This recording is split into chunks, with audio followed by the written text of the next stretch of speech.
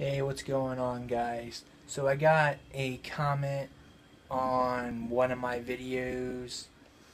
Somebody had asked me about my DVD collection, so I'm to go ahead and get started and show you guys.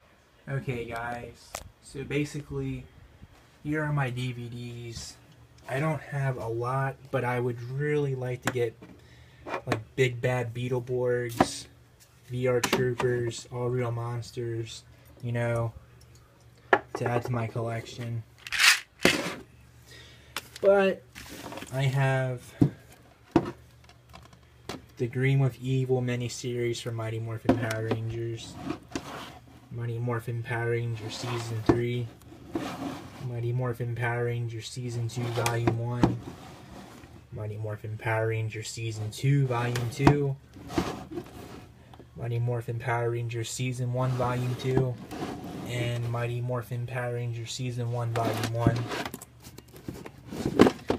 And I have Cat Dog, the complete series. I have. Hold on, let me get it. I have The Angry Beavers.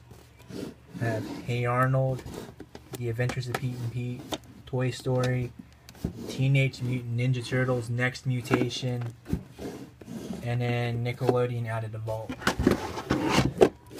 But I watch them on my TV, obviously. Oh yeah, and then there's my Power Rangers Zeo DVDs. I hope you guys enjoyed my video.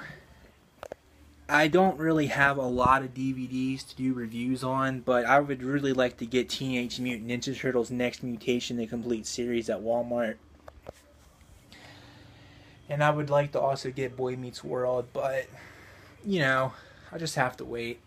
But anyways, subscribe to the channel if you haven't already.